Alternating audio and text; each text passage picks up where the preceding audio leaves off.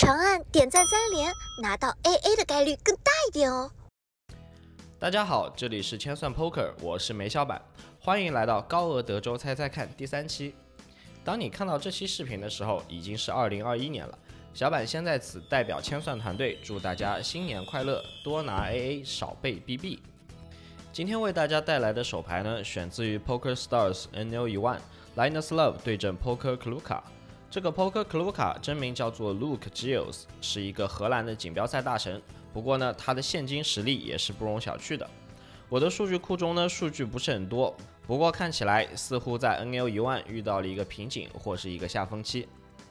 好的，双方有效筹码一百 BB，Linus 在 button 位正常开池，Kluka 三倍到九 BB，Linus 选择跟注。翻牌发出二二五听花面，Kluka 在这个牌面上呢具有范围优势，他可以做一个小注的 C bet，不过在这里他选择了过牌，并且呢跟住了 Linus 的一枪 stab。提问：这里 Kluka 的跟注范围到底有哪些呢？双高张还是后门花？同时他这里会用什么牌做加注呢？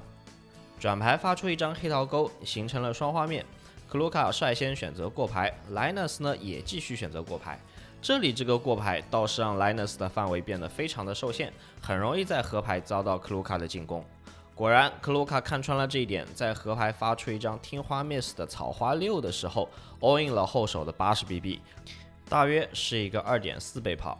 Linus 在这里呢选择了跟注，并且最后赢下了这个底池。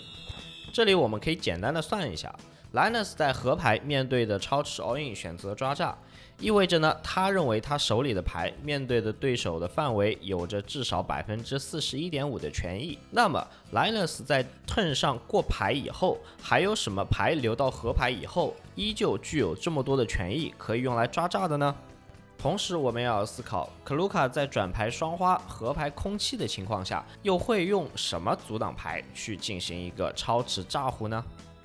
和往常一样，同学们可以在留言区留下你的答案。第一个猜对的同学呢，可以获得千算精美周边一份。实在猜不到，咱们就蒙一个，对吧？万一蒙对了呢？同时呢，我们也正在准备把高额德州猜猜看做成互动视频的形式，给大家更好的代入体验。如果你觉得这个主意不错，请把一一一一打在弹幕上。好的，今天的题目就到这里了。对我们频道感兴趣的话呢，还可以关注我们的微信公众号“千算 Poker”，更多名家访谈、策略文章等你来看。